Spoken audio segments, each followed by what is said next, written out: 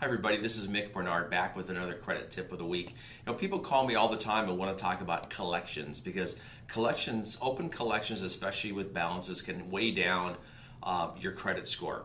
And so here's what I say about that. Be careful when you're paying off a collection because when you pay off a collection, it sometimes updates the date of last activity on your credit report redates that account, which means it could stay on your report for seven more years, and you really don't want that to happen. And so when you're negotiating uh, to pay a collection, um, uh, I always encourage you to, to contact your collector. Do not just send in a check make your payment because you received a letter in the mail because you want to convince them to remove it from your credit report. Paying a collection will not make your score go up. In fact, it might make your score go down.